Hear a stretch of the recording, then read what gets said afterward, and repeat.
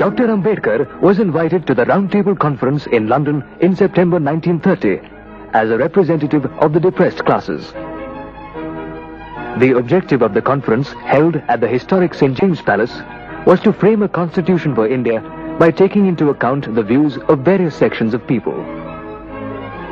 But Ambedkar's willingness to represent his people at the conference aggravated the resentment of the Indian National Congress, which had boycotted the Simon Commission and also the conference. All those who associated with the conference were roundly condemned and accused as lackeys of the British by the congressman. From then, Dr. Ambedkar, in the eyes of the Congress, carried the foul stigma of being a stooge of the British. And yet, at the conference, his fierce and uncompromising championship of the Indian national interests caused surprise at home and consternation in ruling quarters. Dr. Ambedkar pleaded at the conference that the bureaucratic form of government in India should be replaced by a government of the people, by the people, and for the people.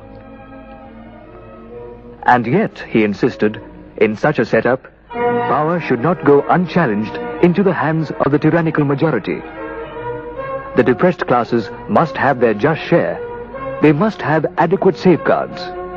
On this, there could be no compromise.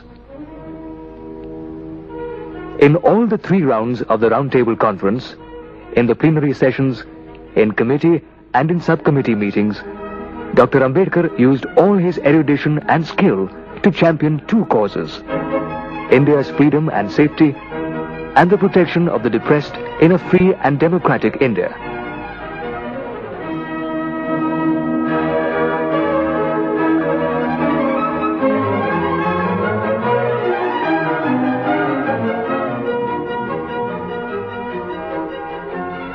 While in London for the Roundtable Conference, Dr. Ambedkar stayed at different places, but maintained steady communication with his movement and followers through a flood of letters. His performance at the Roundtable Conference made a deep impact on the intellectual and the political circles in England. Nobody could now ignore Ambedkar. Ambedkar's relentless espousal of the cause of the untouchables did have some effect.